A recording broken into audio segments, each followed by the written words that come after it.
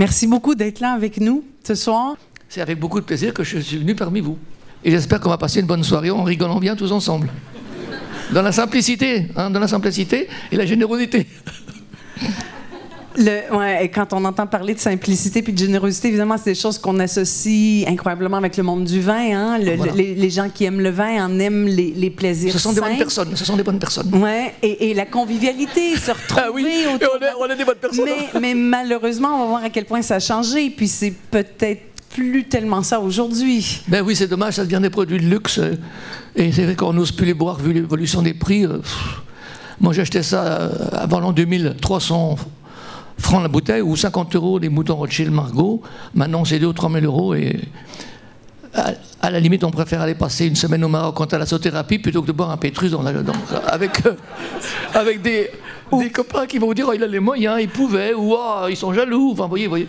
Ou, ou comme disait, je sais pas si, je crois que c'est Michel Botane qui disait, un fameux critique euh, vin français, qui disait ben, l'idéal, ce serait peut-être de boire le Pétrus là-bas. Oui, oui, oui, De ben combiner oui. les deux.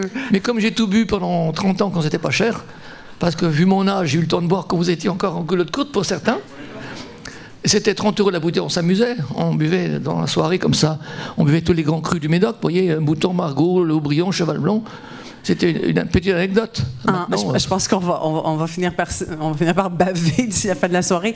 Euh, en parlant de culotte courte, justement, vous avez commencé comment? Comment vous est venu cet amour du vin? Vous avez grandi euh, à la Chapelle Bâton? Oui, dans un petit village tout de petit village de 300 habitants. habitants. Bah, euh, en, en raccourcissant les choses, c'est grâce à mon grand-père maternel. Il est vrai que moi je suis né en 41, donc dans les années 50, on buvait du cidre à la campagne. Mais mon grand-père, qui était marchand de vaches, qui avait fait pas mal de marchés noirs avec les, députés de Paris qui venaient chercher leur jambon pendant la guerre, il avait appris à connaître les vins parce que tous ces députés euh, ramenaient des, grands crus à mon grand-père, donc dans les années 50. Nous, on ne savait pas ce que c'était. Et effectivement, lui a appris comme ça.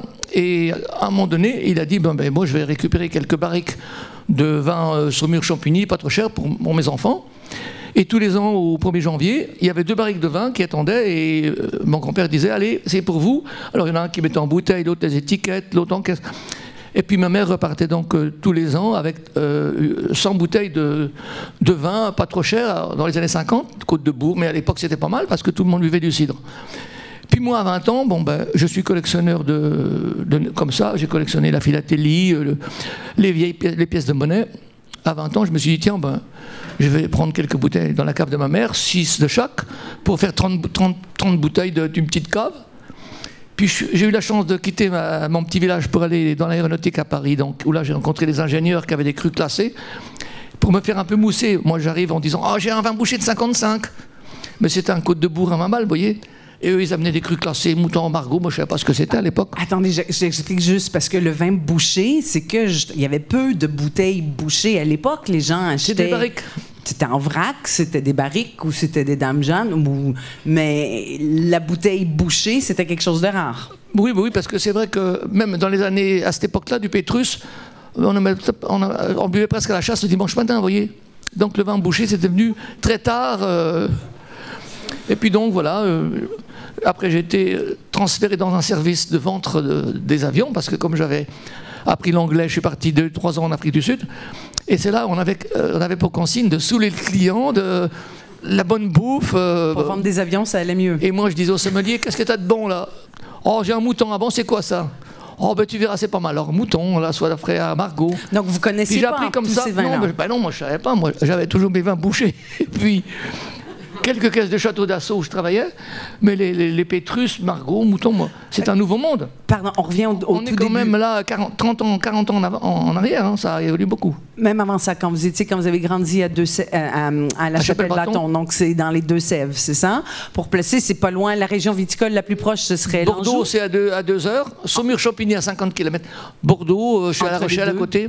Donc, c'est les vins que vous avez connus quand vous étiez petit, que ramenait votre grand-père, c'est ça? C'est des vins non, de la Loire, des non, vins de mon grand-père, c'est des vins de Loire, de Tours. Moi, je suis, j'habite euh, en Poitou-Charentes, près de Poitiers, La Rochelle, et c'est là que mon grand-père achetait des vaches pour euh, les engraisser dans ses champs.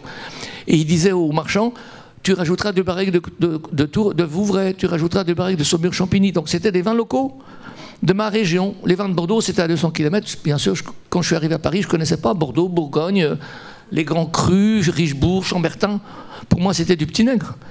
Et donc, euh, c'est vrai que j'ai appris comme ça. Euh, le, le plaisir était celui de collectionner avant d'être amateur de vin. Êtes-vous un amateur de vin ou un collectionneur avant tout? Ben, J'étais collectionneur avant tout, de tout. Les, fleurs, les arbres, les petits oiseaux, les bengalis. Les arbres, ça ne doit pas être facile. Et puis les pièces de monnaie, les buvards. Et puis c'est donc, donc après que je suis devenu un amateur de vin, lorsque j'ai rencontré Michel Béthane, donc de la revue du vin de France à l'époque, qui m'a appris un peu les grands crus. Et puis donc euh, là, j'ai commencé par apprécier. Donc euh, j'étais collectionneur, mais en même temps intéressé de boire.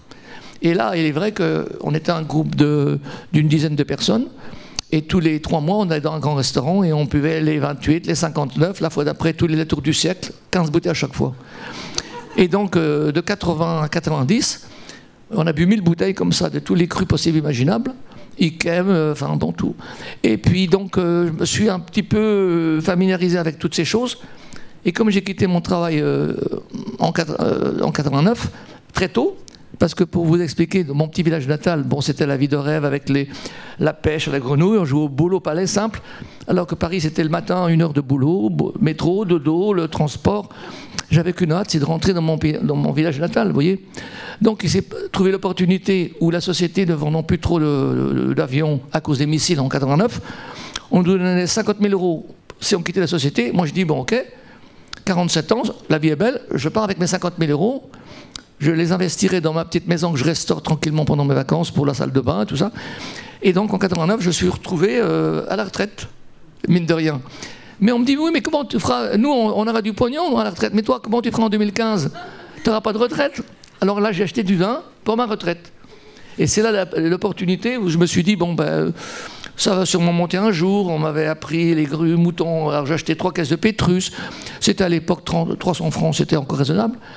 Et de 90 à, l'an 2000, j'achetais tous les ans une cinquantaine de caisses de vin. Une pour garder pour la collection, deux pour boire. Puis l'an 2000 est arrivé. L'an 2000 est arrivé. C'était plus 300 francs, 1500 francs. Parker en a remis une couche en 2005, 500 euros la bouteille. En 2010, 2000 euros la bouteille. En 2015, je me suis dit, mais là, oh, je vais acheter un yacht. Euh, j'aurais beaucoup trop d'argent pour ma retraite. Et c'est là que j'ai décidé de faire, euh, d'améliorer ma collection en revendant tous les doubles que j'avais pour acheter l'Afrique du Sud, l'Australie, la Nouvelle-Zélande, les vins de Californie, les cognacs, Armagnac, pour acheter tous les vins qui manquaient à un collectionneur que j'étais, en copiant un petit peu les informations de Robert Parker et autres. Et en 2017, je me suis retrouvé le plus grand collectionneur au monde de, vins spiritueux. Et j'ai décidé de faire une fondation pour faire un musée que je vais pour pérenniser un peu, qui sera l'œuvre d'une vie qui me survivrait. Vous avez parlé des donc vous avez eu la chance incroyable de commencer dans une période intéressante où on pouvait. Ça reste intéressant. Par hasard, oui. C'est encore intéressant, c'est juste plus abordable. c'est un, peu un peu comme en 1900, les gens qui achetaient des Van Gogh, des Picasso. Van Gogh, il disait Tu me fais à bouffer, je te donne une toile. Maintenant, ça vaut 100 millions d'euros la toile. Moi, j'ai acheté une caisse de Pétrus, ça va être 300 francs. Maintenant, ça vaut 30 000 euros. Bon, Qu'est-ce euh, qui a fait le changement hmm? Qu'est-ce qui a fait le changement? Internet. Et puis, à nouveau, euh, riche chinois, euh, le développement des, milliardaires dans le monde, où dorénavant, tous ces milliardaires, ils ont leur yacht, leur baraque, tout ce qu'il faut. Qu'est-ce qui manque? Ah ben, Il paraît que les vins, c'est à la mode. Alors, des Petrus, Romanée Conti, Hong Kong, et Parker qui met des notes, qui remet une couche. Donc, euh, tout le monde veut du 100 points par cœur. Comme les 100 points par cœur, ça se vend, on multiplie les prix. Les vignerons ont fait aussi une amélioration de qualité. Parce que ce qu'il faut bien savoir, c'est que dans les années 60, les vins de Bourgogne n'étaient pas terribles parce que déjà, le gars qui avait 2000 bouteilles, ben, il rajoutait presque un peu d'eau, ou il, faisait toute la vendange pour vendre la totalité de la récolte, alors que maintenant il dit, oh ça, on sélectionne, on fera que 500 bouteilles, mais au moins on aura une note Parker et on va vendre 10 fois le prix. Donc c'est ça qui a créé toute l'évolution.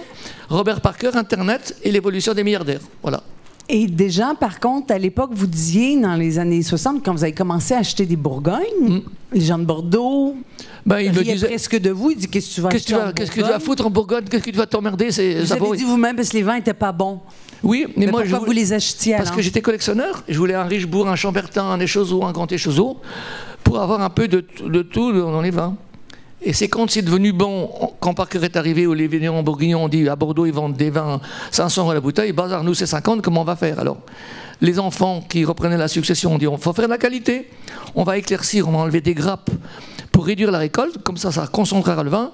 Et les bourguignons sont devenus bons à partir des années 90, alors qu'en 60, c'était de la piquette, quoi. Et, alors maintenant, ben, pour en avoir, euh, il faut être sur la liste parce que. Alors du coup, moi j'achetais donc euh, de la piquette, comme on dit. Mais quand c'est devenu bon, tout le monde s'est précipité. Et donc, euh, oui, mais il y avait que, par exemple, Romain Conti, il n'y a, a, que 2000 caisses pour le monde entier. Donc, ben non, monsieur, non, non. Mais Chasseur, il en a lui. Ben oui, mais lui, il est sur la liste depuis 15 ans.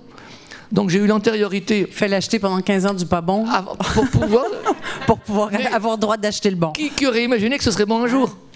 Et donc maintenant, j'arrive en Bourgogne, voilà, je mets ma petite caisse de Romain Conti, euh, les morceaux de coche du riz que je paye 50 euros. Il y a, au bout du village, il y a une mobilette qui m'attend avec un billet de 500 euros pour acheter la bouteille. Je fais 3 km, il y a une Mercedes avec un milliardaire russe qui a deux, billets de 500 euros pour la bouteille, donc c'est incroyable quoi. Dans l'heure qui suit, ça passe de 100 à 1000 euros la bouteille. Alors, bon, malheureusement, ma passion étant, je ne la vends pas parce que, malheureusement, pour, pour les sous, comme on dit, mais je garde, c'est un patrimoine où j'ai le privilège au moins d'avoir euh, ce que les milliardaires peuvent même pas avoir. Et ceux qui cèdent à la vente, parce que j'ai des copains quand même qui en ont, eh bien, euh, bon, ben, tout ça, ça va partir en. C'est tout un patrimoine qui fout le camp. Et donc la philosophie de ma collection, pour répondre à une question que vous allez sûrement me poser, c'est que dans deux siècles, j'aurai au moins le patrimoine de l'humanité, des plus grands crus, comme les œuvres d'art. Euh, le vin c'est fait pour boire, mais en même temps, on aura au moins une bouteille de chaque en disant ça c'était le grand 1947, ça c'était le fameux Petrus 21, ça c'était le fameux vin de, de M. Jaillet qui valait 40 000 euros, qui en vaut 400 000 maintenant, enfin voilà. Le vin est en train de devenir des œuvres d'art et donc sur l'idée que j'ai eue il y a 3 ou 4 ans de, de les conserver, j'avais 10 ans d'avance parce que ça devient maintenant carrément des vins qu'on regarde et qu'on ne boit plus. La semaine dernière, vous voyez, il s'est vendu une bouteille de Romanée Conti 450 000 euros. J'ai acheté ça à 1500 euros il y a 30 ans. Bon, mais j'aurais jamais imaginé que bientôt on va avoir des bouteilles de vin à, 1 million d'euros la bouteille. On y va tout droit. Le Chinois qui gagne un million d'euros par mois, il dit Moi, je veux cette bouteille. Le majordome, il est là, mais il y a le majordome russe qui est en face, le majordome euh, brésilien, et les prix montent, et ben, il va, chacun veut la bouteille, peu importe le prix. Il y a une époque où les, grands critiques vins britanniques, entre autres, entre autres, conseillaient aux amateurs acheter minimum une caisse. Euh, c'est, Moi, j'ai acheté trois caisses. On a du mal. Non, mais on a du mal à imaginer acheter une bouteille aujourd'hui. Eh oui, oui. Et maintenant, on peut plus. 3000 euros la bouteille. Euh, non, il y a, y, a, y a il y a, l'influence des critiques, des gens comme Robert Parker que vous avez mentionné. Il y a l'amélioration des vignerons qui oui la qualité la qualité, est montée. Euh, mais à part ça, qu'est-ce qui fait prendre de la valeur au vin quand on a une collection comme la vôtre? Est-ce que c'est juste parce qu'il y a certaines bouteilles où vous en avez le, le, le, Porto, c'est quoi l'histoire du Porto Le, Nova National 31. Ouais. Oui, mais il y a 3 milliardaires qui la veulent. Comme il... Ah, il y en a combien dans le monde? Une. Porto, euh, Noval. Ben, une petite histoire encore. Porto Noval National 1931. Bon, euh, j'entends parler. Je vais à Paris euh, au Ritz pour une dégustation il y a 30 ans. Alors je vois le, le président du syndicat de Porto et une dégustation de Porto. Ah, il me dit, monsieur, je suis venu apprendre aux restaurateurs, même à Alain et tout, ce que c'est que le Porto, parce que le Porto, on le boit en France, il n'y a qu'en Angleterre, on ne sait pas ce que c'est. Après un bon repas avec un gâteau au chocolat, à Porto, c'est quand même pas mal. Moi, j'étais là-bas par hasard, et puis à la fin de la dégustation, il y avait 30, euh, euh, restaurateurs qui sont en il ne restait plus que 5 ou 6. Et M. Van Zeller, avec sa grosse moustache, il me dit Oh, j'ai une 63, sans par Parker, on, on, est 6 ou 7, on va y déguster. Alors. Euh, ah bon, oui, oui, c'est le plus grand fait. Ah, mais bien sûr, il y a, y a au-dessus, mais ça, c'est. La Joconde, c'est un mythe. C'est la 31, on sait plus, il n'y en a plus dans le monde. Bon. Alors, je pars avec cette euh, information. Et puis, à Vinexpo, tous les deux ans, je me promène et je pose des questions. Et puis, je dis, ben voilà, il me manque euh, Nova National 31, quand même, bon. Et puis, il y en a qui me dit, ben, il y a un Anglais qu'on a une là. ah bon? Il me dit oui, c'était le majordome de la reine d'Angleterre. Quand elle est partie, elle lui a dit tu prends la bouteille que tu veux. Il a, il a, une bouteille de Noval 31. Oh, je dis chouette, je, vais pouvoir l'avoir. Alors je vois le gars, puis il dit voilà, euh, on peut faire un petit échange. J'ai deux, trois bouteilles de Pétrus. Il me fait quoi? Qu'il me fait? Je me dis il ne doit pas savoir le prix. Il me dit vous rigolez, monsieur, j'en veux deux caisses. Oh, je dis ben c'est foutu. Il dit il est fou, deux caisses. Alors à l'époque, ça faisait l'équivalent de 5000 euros, vous voyez puis je regarde dans les documents, je vois une bouteille donnée avant Carlos d'Espagne, estimée à 8000 euros. Je dis à 3000 euros près, je suis encore pas trop perdant, quoi. Et j'amène les deux caisses de Petrus 85 et je repars avec ma bouteille où tout le monde rigolait. Michel, t'es fou, pour un Porto, 24 Petrus. Et maintenant, ça vaut 100 000 euros parce qu'il n'y en a qu'une dans le monde. Donc c'est une anecdote entre autres. Quoi.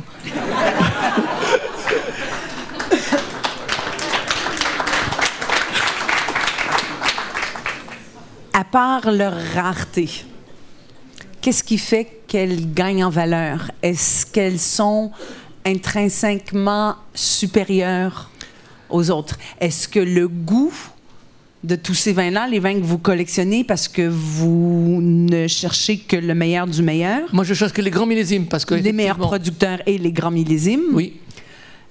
Est-ce que vous considérez que ces bouteilles-là, toutes les bouteilles que vous collectionnez, ont gagné en valeur parce que justement, elles sont meilleures au goût? Bon, ça, ça a été un facteur, mais l'essentiel, c'est que tous les milliardaires en veulent.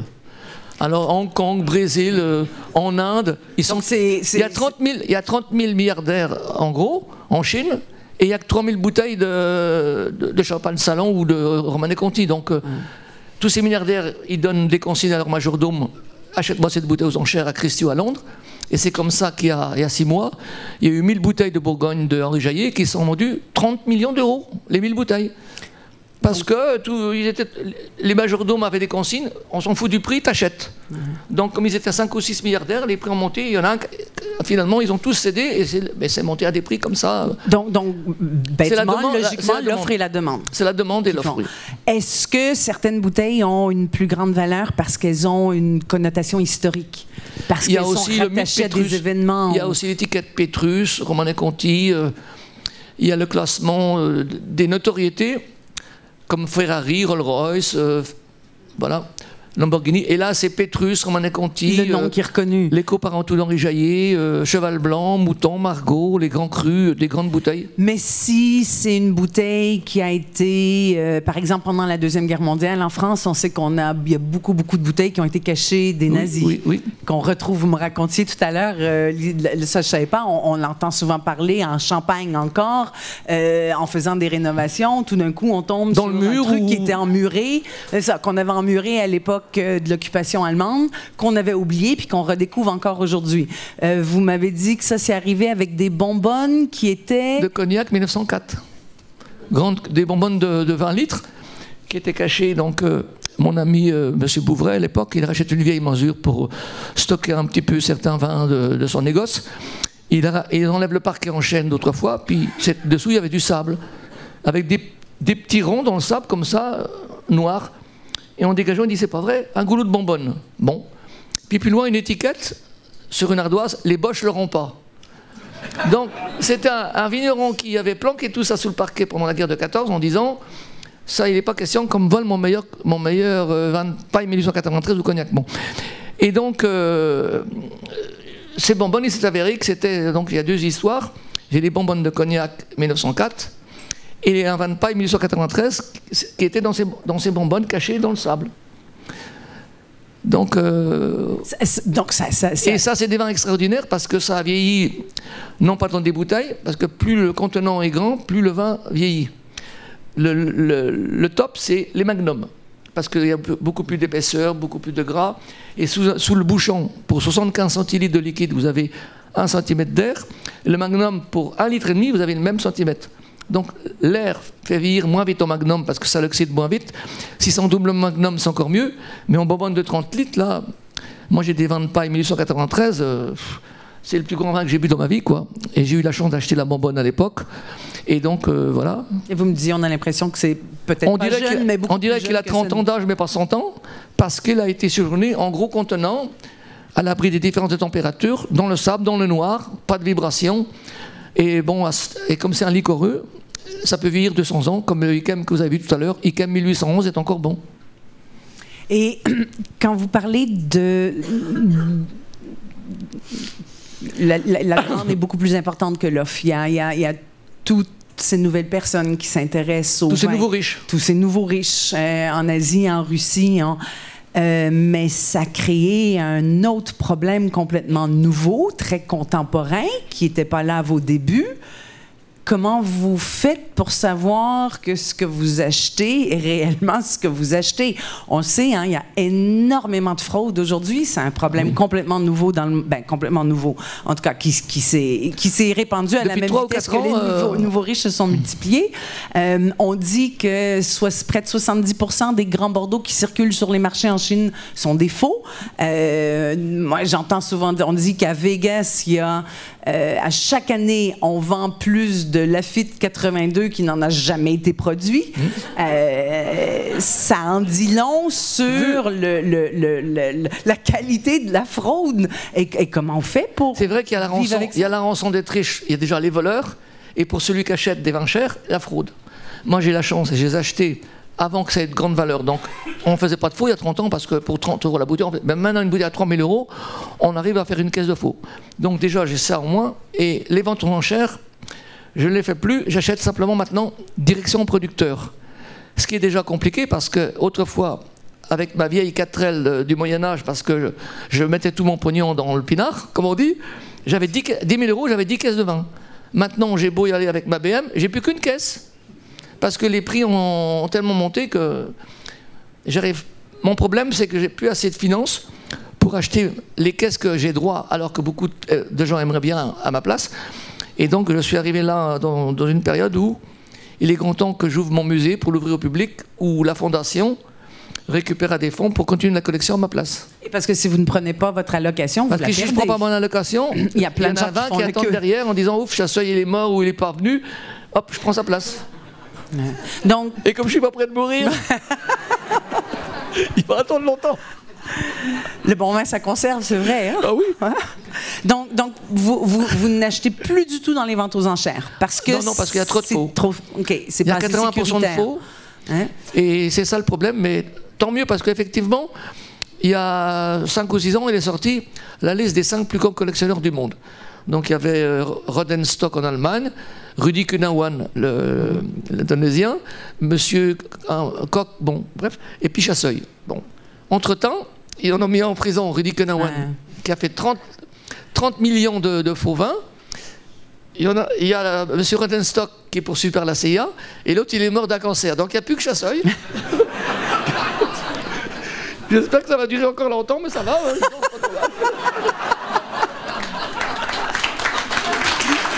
Il n'y a que l'authentique qui survit, hein? Je n'ai pas d'âge.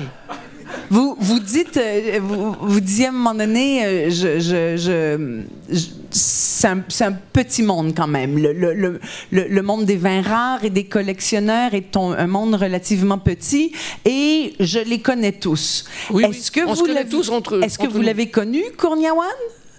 Non, mais j'ai connu Rodenstock. OK à un tel point que vous pensez, il, est C'est des, des, des hein, c'est vraiment des fraudeurs euh, C'est des gens qui avaient une grande réputation avec les ministres et les députés, comme Rodenstock, il avait ses épaulettes de, 1870, il était là, le, seigneur en Allemagne, un siècle de Dickem à boire, enfin voilà. Et c'était un, faussaire. ils ont roulé J'étais impressionné parce que je lui ai écrit est-ce que je peux avoir une bouteille vide de votre dégustation d'Ikem pour avoir une traçabilité de la plus grande dégustation du siècle? Donc il m'a envoyé sa photo dédicacée. Donc la photo d'un faussaire. Ensuite, ça a été avéré que la CIA a dit 15 ans de prison, euh, il, cherchait à le coincer. Donc Rodenstock, euh, je l'ai rencontré. Mais Rudy Kenawan, j'ai pas su. C'était un génie qui fabriquait des vins. Et donc il y a une vente aux enchères des États-Unis qui a dit bon, ce gars-là, on va le former. On va faire des grands dîners, on va inviter tous les gens qui ont du fric et on va le faire monter en notoriété.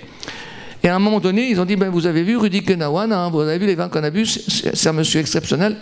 Il est, dorénavant l'expert de, la, société de vente aux enchères. Et euh, ils ont dit, toi, tu vas nous faire le maximum de faux vins, considérant que nous, on a 20% de, des ventes. Il a fait pour 500 euh, 000 bouteilles en 10 ans de faux vins, vous imaginez? Mais c'est un petit génie parce qu'avec des vins de table et avec des sortes de vins, il reproduisait le goût d'un grand cru. Ça prend quand même un bon palais pour arriver à faire ça. C'était un génie. Parce qu'il a fraudé un paquet de gens qui étaient des Michael chevronnés. Tous les grands experts du monde, ils disaient oui, c'est bien du Cheval Blanc 47, ah oui, c'est bien du, du Pétrus 21. Bon, il avait reconstitué comme ça, euh, donc il avait déjà appris le sens des vins, et il a roulé tout le monde pendant 10 ans. Et donc ça s'est passé, c'est qu'il y, y, a trois ans déjà, Il y a M. Ponceau, un, producteur bourguignon, il voit Claude Laroche 47, mais je n'ai jamais fait de 47, moi. Donc il a, été invité le fameux Conawan au resto, et puis l'autre était resté bouche bée, et donc euh, à ce moment-là, la CIA est tombée dessus, et donc il est allé en, prison pour 9 ans. Il y a d'ailleurs un film, euh, le nom m'échappe, je suis sûr que... Non, non. Euh, Sour Grapes, merci. J'oublie le nom français. Il y a eu un livre, le, Vinegar, qui est sorti aussi. Il y a un livre sur lui qui est sorti là il y a. Euh, ben, un film aussi qui a été fait, mais en tout cas, c'est une histoire assez fascinante de voir euh, mm. comment il a roulé absolument tout le monde. Euh, Donc maintenant, il faut faire attention aux voleurs et aux faux.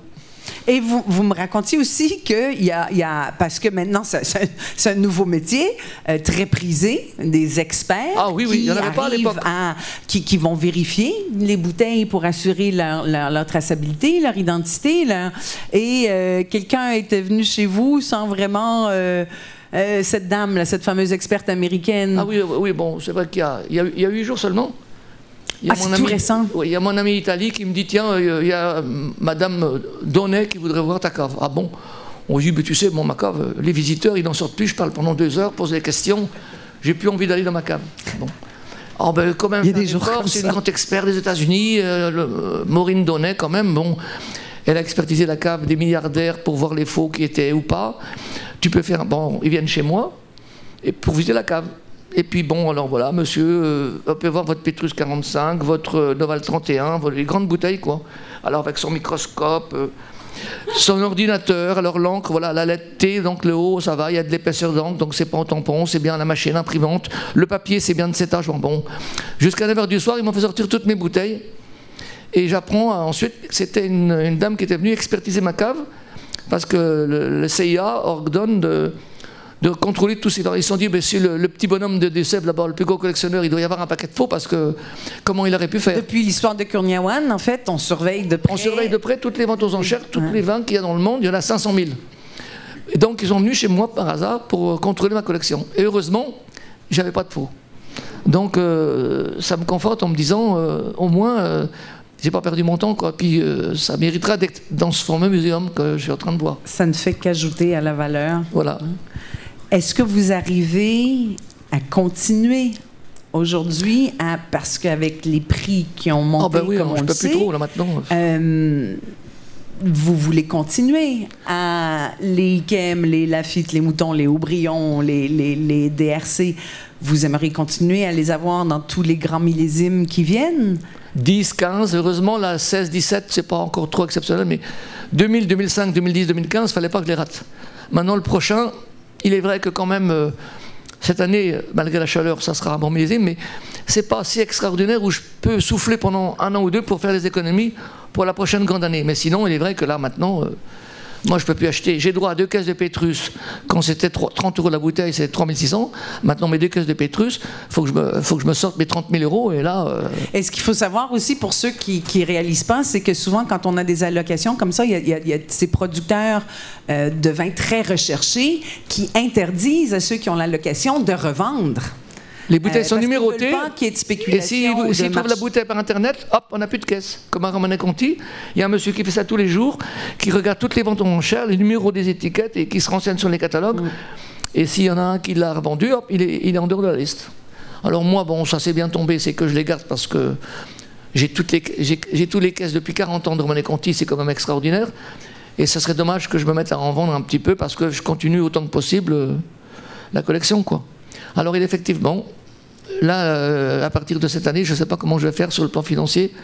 J'ai réussi à faire la jonction, mais là, il faut faire quelque chose. On va mais ce que vous cherchez à faire là maintenant, c'est ça aussi, c'est une façon d'assurer la continuité de cette je collection. faire euh, un muséum avec des entrées publics. Et à ce moment-là, il y aura une, petite boutique, cafétéria, quelques souvenirs, et puis les gens visiteront la collection, mise en scène, mais mieux que ça. Et à ce moment-là, bon, j'espère l'année prochaine commencer au mois de juin faire le grand trou de 50 mètres de long, là, avec comme une rue du Moyen-Âge, avec tous les pays de chaque côté, Pérou, Mexique, Venezuela. Il y a de l'intérêt, vous avez, parce que vous avez Et c'est les entrées qui, qui, qui paieront tout ça. les entrées... le gouvernement, tout ça. Oh, ben, vous savez, comme je disais, nul n'est prophète en son pays. Chez nous, quand vous avez le président de la République qui vend la cave de l'Élysée, c'est pas la peine d'aller lui dire euh, j'ai une belle collection parce que ça intéresse personne. Malheureusement, c'est les étrangers qui me félicitent les Chinois, des Russes qui viennent de temps en temps.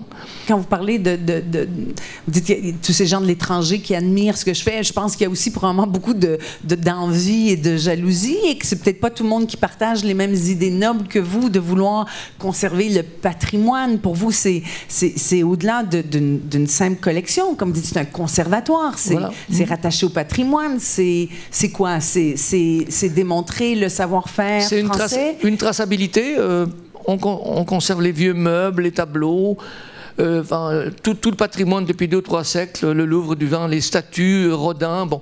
Et finalement, le vin, pourquoi pas, sur 100 bouteilles, s'il y en a 99 qui en boivent, au moins qu'il y en ait un qui en garde une bouteille, parce qu'en 2100, on dira, ben voilà, euh, dorénavant, euh, le vin est devenu à un million d'euros la bouteille.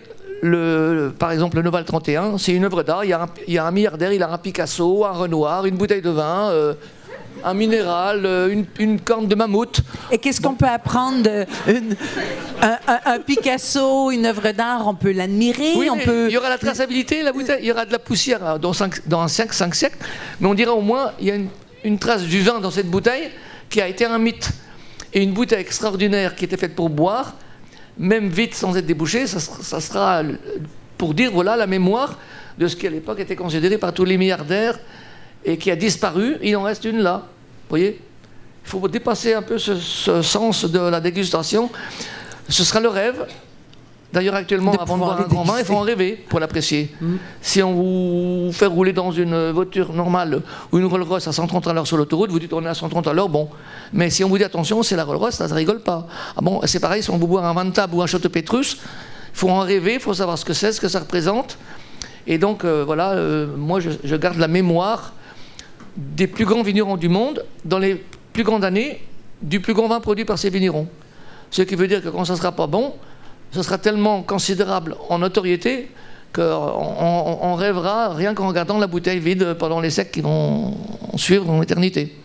On parle euh, de Pétrus, de Bordeaux, Grand Classé de Bordeaux, de Bourgogne, mais vous dites les plus grands vins du monde. C'était quoi votre première bouteille de vin étranger qui a rejoint la collection? La première bouteille de vin étranger, euh, ah, c'était en Espagne, Vega Sicilia, 1938.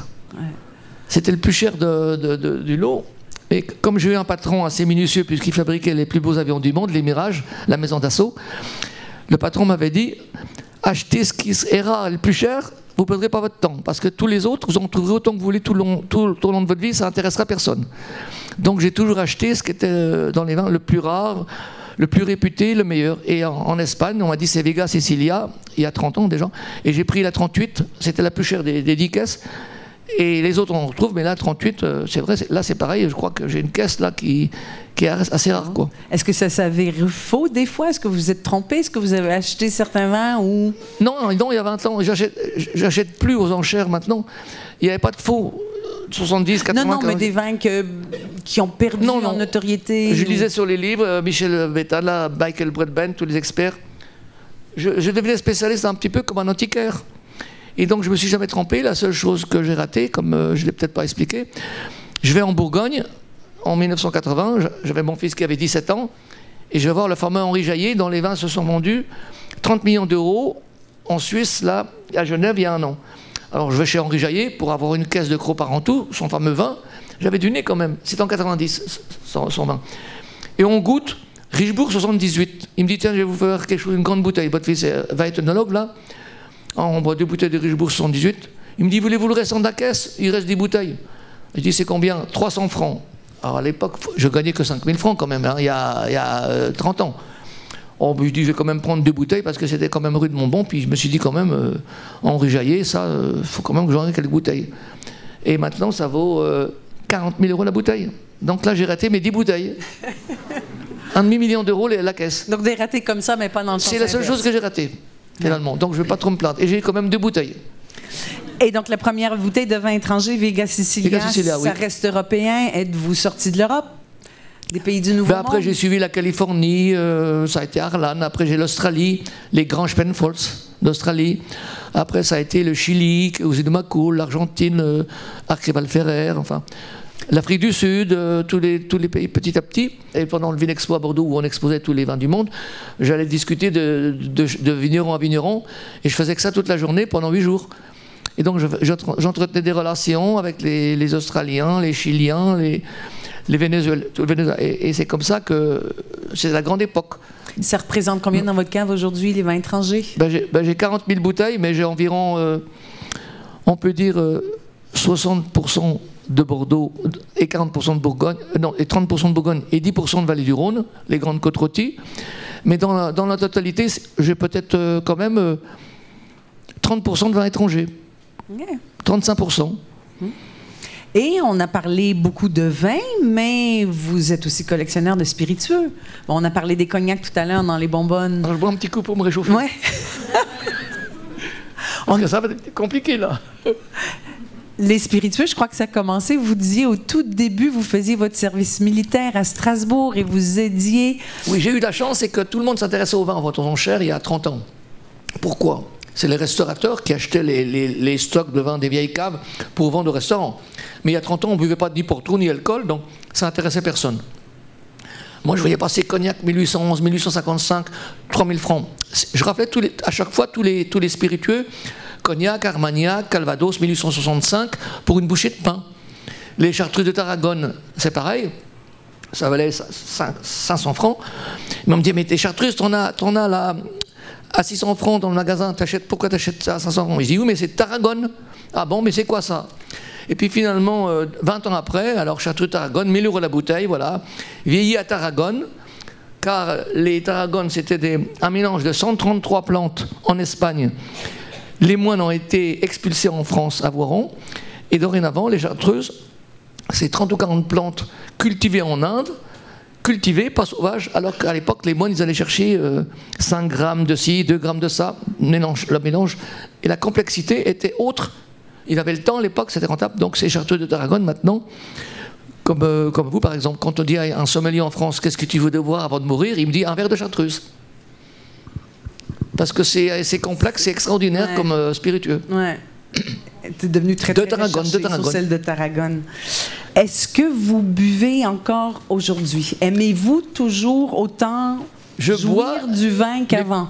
Je bois, mais plus intelligemment, parce que maintenant, quand j'ai une bouteille à 1000 euros devant, ma, devant mon, assiette, je me dis, attention, bon, c'est pas tous les jours, quoi. Donc, avec mon fils qui est œnologue, quand même, qui a une ville à Pomerol, mais je, je, bois euh, raisonnablement à chaque repas un verre de vin, mais les vins du Roussillon, des vins à 30, 30, 40, 20, 30 euros la bouteille, vous voyez Bon, et puis de temps en temps, c'est vrai qu'une bonne bouteille. Mais je préfère aller en vacances avec ma famille pour 3000 euros que de boire une bouteille. Parce qu'on va se faire beaucoup plus plaisir pendant 8 jours euh, en Maroc ou autre. Que, Donc je bois beaucoup moins qu'à l'époque où c'était 30 euros la bouteille. C'est vrai que maintenant on réfléchit, quand on a une bouteille si chère, on se dit, bon ben, voilà, il euh, faut que ce soit dans des conditions à Noël, dans des grandes occasions, un anniversaire. Vous, vous dites avoir tout goûté. C'est une des raisons pour lesquelles vous J'ai tout bu, j'ai tout bu. Donc moi, vous savez, boire Pétrus, j'en ai bu 30 bouteilles, 30 fois. Ikem, euh, 67, une grande année. Il y a un copain qui me dit, t'as encore des bouteilles, tu les bois pas là? C'est une bonbon? Mais je dis, j'ai les bu 10 fois. J'en garde deux, j'en boirai une quand mon petit-fils aura 20 ans, mon fils en famille, mais je les bu 10 fois, moi. À moins d'être gourmand, effectivement, j'aimerais bien les boire. Mais euh, gourmand, j'ai été assez gourmand. Jusqu'à maintenant, j'ai tout bu alors. Il y, a, des personnes qui disent, qui ont eu l'opportunité, comme vous, de goûter tous ces grands vins, et qui disent euh, faire la différence entre les vins d'avant et après le phylloxéra. Il y a un grand écart. C'est vrai que cette question, on me dit, mais voilà, c'est intéressant comme question. Mais tes vins de, 1850, là, ils sont plus bons. Euh, déjà, les 82 grandes années, c'est grand temps. Ce qui se passe, c'est que justement, il y a eu phylloxéra qui a envahi toutes les vignes, à Bordeaux jusqu'en 1890 et en Bourgogne en 1945. Donc ce qu'il faut savoir, c'est que tous les, vins de, ont été greffés sur des racines américaines, parce que le phylloxéra attaquait les racines des pieds de vigne français et puis les, pieds de vigne mouraient. Donc euh, ils ont trouvé un système, ils ont importé des, des pieds de vigne des États-Unis et ils ont greffé les cépages français. Ce qui veut dire que le phylloxéra ne prend plus mais on n'a plus le vin qu'on avait avant lorsque c'était pied de vigne franc de vigne française. le vin se conserve beaucoup moins. et puis il y a eu la pollution depuis. Donc vous avez encore des vins de 1870-1865 qui sont, mouton l'a fait encore en stock, qui sont encore bons, que les 82, il est temps de les boire. Parce que c'était d'une autre époque, il n'y avait pas de pollution et vieille vigne française. Et si vous prenez l'exemple de 82, mais il y a aussi la viticulture qui a beaucoup changé. Oui, bon, euh, il y a aussi bon, les traitements, le rendement. Et puis euh, aussi la vinification. Avant, on mettait les rafles, on mettait toute la grappe. On ne pouvait pas goûter le vin avant 30 ans. Mais c'est pour ça que le vin se conservait. Il y avait tout, alors que maintenant, on enlève les grains, grain par grain. Les vins doivent être bons tôt. Les gens ont plus la patience d'attendre 30 ans pour boire une bonne bouteille. Autrefois, on ne buvait pas un vin avant qu'il ait 30 ans d'âge. Donc la nouvelle vinification, la modernité de vinification a fait qu'effectivement, les vins sont fruités, gourmands, mais euh, après 30 ans, ils ont perdu la résistance pour le vieillissement. C'est quelque chose qui motive aussi votre désir de créer ce conservatoire et de, de, l'assurer pour la pérennité, parce que vous dites que ça se perd justement le, cette notion de un de laisser vieillir le vin, oui, oui. parce qu'on le fait, et la notion de transmission des caves, mais, mais même la transmission des domaines devient presque impossible, non, avec les prix qui montent. Les Chinois achètent les vignobles maintenant, là, ils vendu le Clotard, là. Petrus a cédé 20% de ses par 70 millions d'hectares. C'est que maintenant, ça atteint des prix. Euh, un monsieur qui a beaucoup d'argent, il préfère avoir un morceau de vigne avec deux personnes plutôt qu'une usine avec 30 ouvriers qui sont toujours en grève ou en train de se plaindre. Donc, euh, il place son argent dans la facilité. Pensez-vous que ça va revenir, qu'il va y avoir, par rapport au style des vins, que on, est allé un peu trop loin d'un côté, justement. non, tout va monter, c'est le meilleur placement. Il faut acheter les Bourgognes en ce moment, les, les, les monts Mais s'ils vieillissent plus tout va continuer.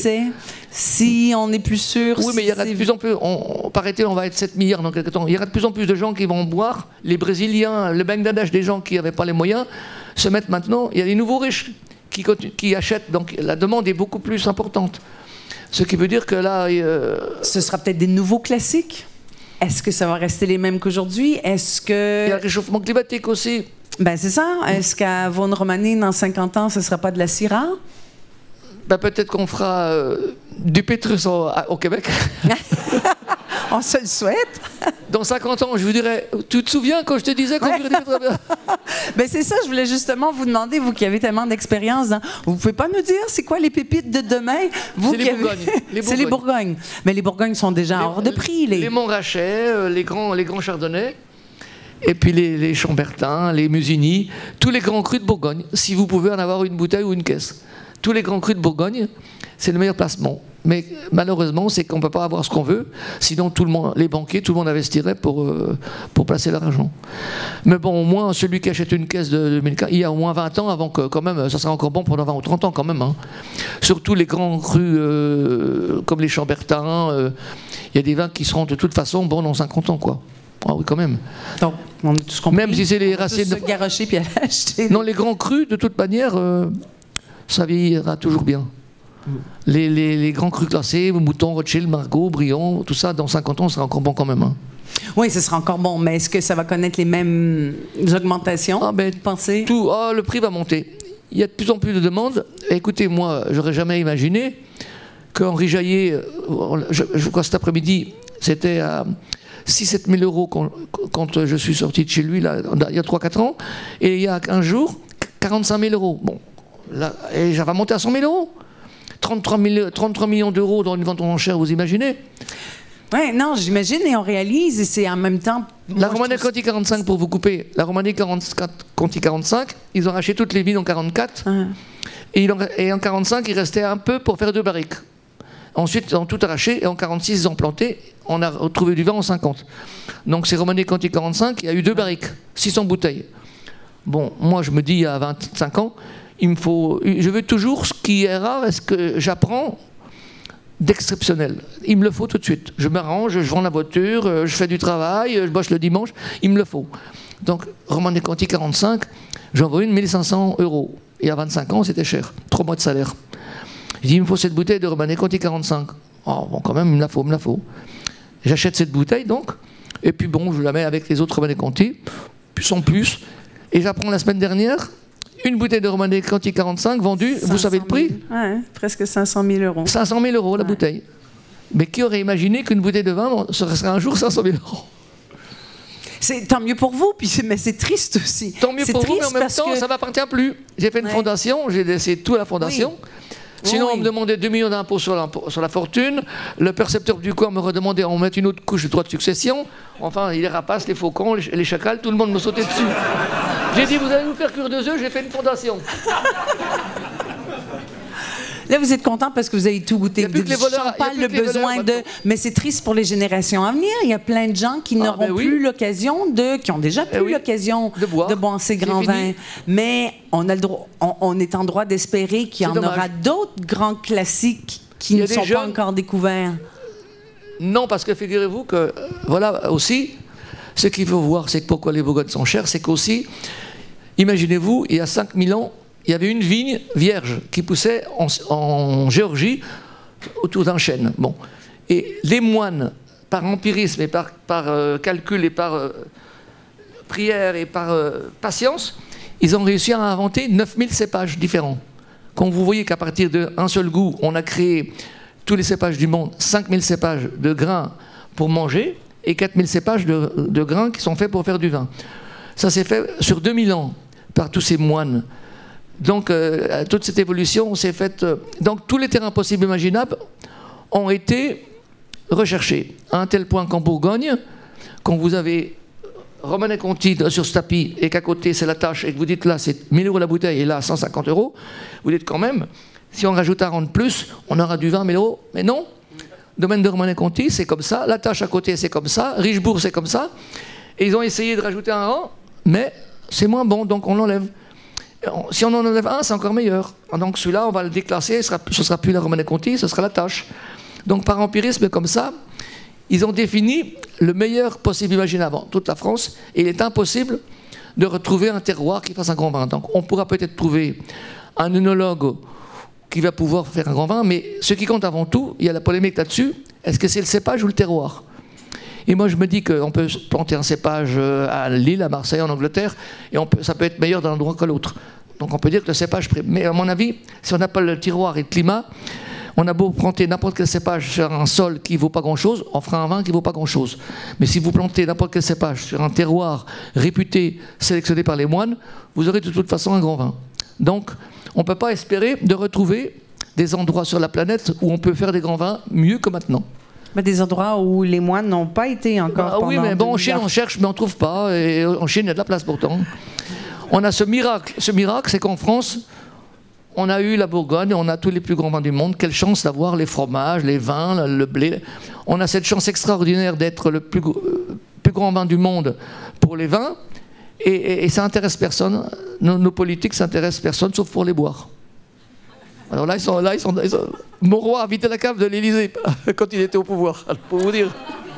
Monsieur Chassel. Donc je suis frustré de mon devoir. J'ai écrit au ministère de la Culture, été voir le ministère de l'Agriculture. Alors la, secrétaire me dit Vous avez vu, monsieur Chassel, on a une ruche là maintenant dans Paris sur la pelouse. Moi, j'en avais rien à foutre de sa ruche. Je venais pour demander un appui financier pour créer mon musée. Enfin voilà, j'en suis réduit comme ça maintenant dans tous ces ministères où je suis, je suis seul dans mon petit monde.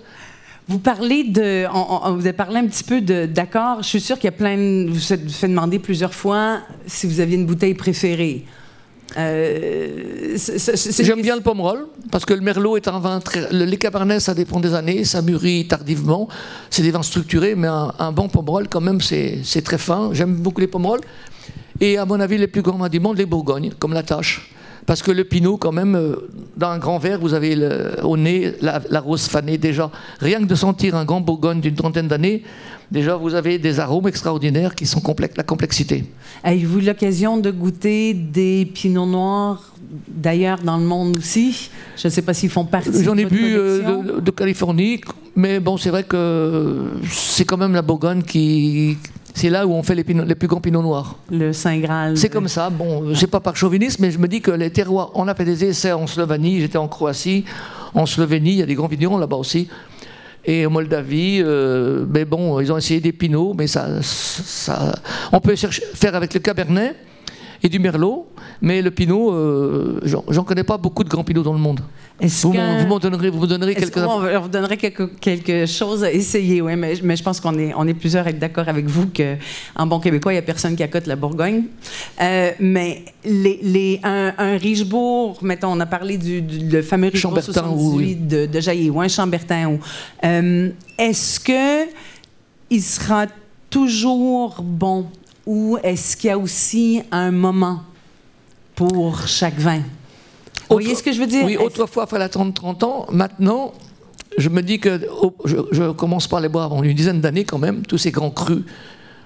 Parce qu'en Bourgogne, il y a donc les grands crus, après premier cru, donc ces grands crus quand même comme Chambertin, Richebourg, Monet-Conti, j'y touche pas avant 10 ans parce qu'il faut quand même lui laisser le temps de prendre son épaisseur et de, s'installer euh, pour que les goûts se fondent avec tous ces, arômes et tout ça.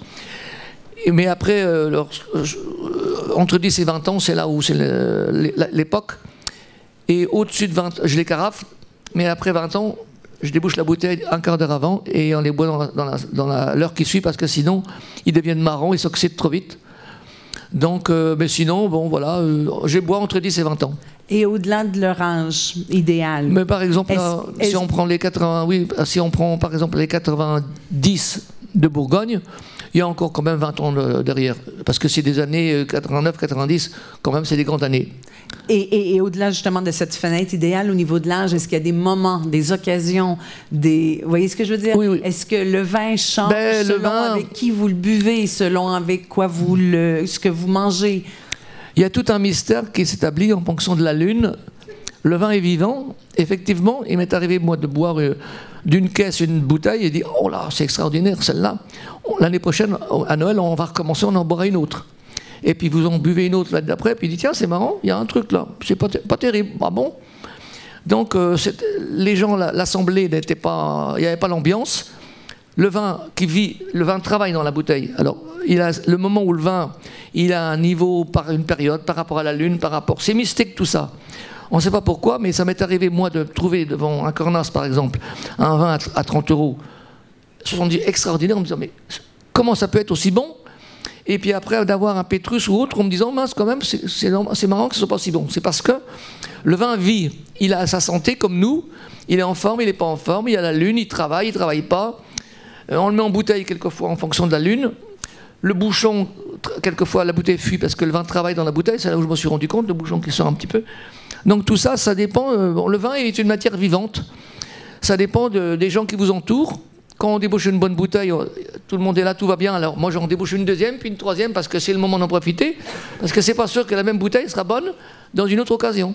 Les bouchons, la conservation, avez-vous des problèmes? Avez-vous des bouchons qui je, suppose que vous les observez, vos bouteilles, vous les manipulez, vous les regardez. Il y, a parfois des bouchons qui sont pas parfaits, qui coulent. Est-ce que ça doit être catastrophique si vous voyez ça, sur un Romani Conti 45 Maintenant, ça va mieux parce qu'il y avait aussi de goût de bouchon qui était un problème. Autrefois, il y avait des bouchons de 45 mm, maintenant c'est 65. Les lièges sont triés cœur de liège, et maintenant par, euh, par onde, ils réussissent à détecter le goût de bouchon du bouchon avant que, de le mettre en bouteille. Donc les bouchons sélectionnés avec une machine électronique. Donc tous les bouchons qui sont livrés déjà, il n'y aura pas de goût de bouchon. Par contre, effectivement, il y a des bouchons qui, vont, qui sont près de près du, l'extérieur du tronc d'arbre, où ils sont un peu plus poreux, d'autres cœurs de, de lièvre, c'est un, un, peu moins. Et moi, ce que je faisais, quand je recevais la caisse que j'allais boire, je sortais toutes les bouteilles de la caisse, et les bouteilles les, les plus près du goulot, les plus pleines, je mettais au fond, et je buvais celle parce que vous savez que maintenant il y a une loi qui dit qu'il faut boucher à 15 degrés, à 3 mm du bouchon, parce que sinon autrefois les gens ils trichaient un peu, une bouteille à 1 cm, à 2 ou 3, ça faisait autant de bouteilles en plus, et donc on avait des bouteilles, le niveau était jamais le même. Maintenant c'est tout à 5 mm. Donc je mettais mes bouteilles les plus pleines au fond, en me disant ben, au moins les bouchons vont pas fuir, vont pas fuir plus longtemps, et les bouteilles les plus basses au-dessus. Et donc c'est comme ça que j'ai remarqué effectivement que selon la bouteille, il y avait des bouteilles qui fuyaient un peu plus que d'autres. Mais bon, ça, euh, moi ce que je fais, c'est que quand je vois que c'est en bas du goulot, je vais voir le propriétaire et il me change le bouchon. Donc tous les au bout de 20-30 ans, en principe, on a quelques bouteilles dans la caisse, deux ou trois bouteilles, il faut aller les faire changer. Parce que si on change soi-même le bouchon, la bouteille perd toute sa valeur. Donc, donc je vais au château, mais ils le font de moins en moins maintenant. Et... Parce que bon, ben, comme tout se vend, le service après-vente, Maintenant, Cheval Blanc, LVMH, ils vendent ça à la bouteille. Bon, c'est bon, pas trop bon, c'est pas grave. Ils ont augmenté la quantité. Maintenant, c'est du commerce, vous voyez. C'est devenu euh, commerce de, luxe. Les parfums, les vins. Euh. La bouteille que vous avez eu le plus de mal à, avoir. trouver, ouais. Ou celle que vous avez obtenue dans les conditions les plus farfelues ben, la, 31 avec deux caisses de Pétrus, quand même, euh, c'était compliqué. Ah, c'est pas farfelu, ça. Je me suis dit quand même. Euh, non, mais je me suis dit, 24 euh, bouteilles de Pétrus, quand même, il y va fort, le gars, là. Et je me demandais si je faisais pas une erreur ou, autre, vous voyez. Sinon, j'ai eu des bouteilles, par exemple, les bouteilles que Napoléon buvait à Sainte-Hélène, ça, ça a été compliqué. Le muscade. Les. les, les, les, les au Cap, là, donc, les. le vin de Constance, les vins de Constance. Alors, il y, a trois, il y a deux siècles, les plus grands vins que buvaient les barons, les seigneurs et autres, c'était les toquets de Hongrie, les vins de Constance, et puis les cotonneries de, Grassa de, Roumanie. Mmh. Et donc, moi, j'avais déjà des toquets de Hongrie, parce que lorsque la, la Russie s'est retirée il y a une trentaine d'années, par l'apportateur Dionys de Lyon, il, achetait les nouveaux vins de, Hongrie et demandait en échange des vieux millésimes qui avaient été cachés dans les murs par, par les, producteurs pour pas que les Russes s'en emparent. Donc j'ai eu comme ça des 1901, 2, 3, 9, 47, bon. Et puis je me disais, maintenant il me faudrait des vins de, Constance, mais ça où Le gars il s'est suicidé parce qu'il y a eu le phylloxéra en 1885. Les vins de Constance ont disparu, la forêt a poussé, bon. Et puis il y a 20 ans, un nouveau milliardaire Monsieur Juste, il dit tiens, mais dans le temps c'était bon ça. Je vais acheter le terrain, je vais défricher, il a replanté. On a ce vin de Constance là maintenant, qui vaut donc 60 euros la bouteille, mais c'est donc euh, vigne greffée et autres. Ça n'a rien à voir avec le vin de Constance d'autrefois. Et par hasard, encore une fois, il y a un ami qui me dit Je viens hériter de mon oncle d'un château à 20 km de chez moi, bon, à Saint-Mexan. Puis dedans, euh, mon oncle, euh, autrefois, il était ambassadeur de France à Johannesburg, enfin voilà, bon, à l'époque, bon. Alors on va dans la cave, on voit la tour 1870, Ikem 1875, 1900, que des cadavres, mais je dis, ah, ce qu'il vivait à l'époque quand même. Puis il me dit, ben, il y a une petite niche là-haut, il y a des bouteilles de boue là, des petites bouteilles, elles sont basses, je sais pas ce que c'est. Qu'est-ce que je vois Constantia? Oh, je dis, c'est pas vrai. Près de chez moi, dans un château, ces petits placards. Mais je dis, qu'est-ce que t'en fais? Oh, qui me dit, tu sais, bon, moi j'ai la goutte, j'ai le, le. peux pas boire de vin. Bon, si tu veux, tu peux en prendre une. Ben, je dis, écoute, ta femme boit du vin quand même. J'avais amené une caisse de pommade dans mon coffre. Je dis, si tu veux, je te prends tes cinq bouteilles et je te donne ma caisse de pinard. Ah, ben oui, oui, sûr, sûr. Moi, je prends les Constantia. Elles étaient très basses, vous voyez. Et je me dis, quand même, j'ai la trace de ces vins de Constance.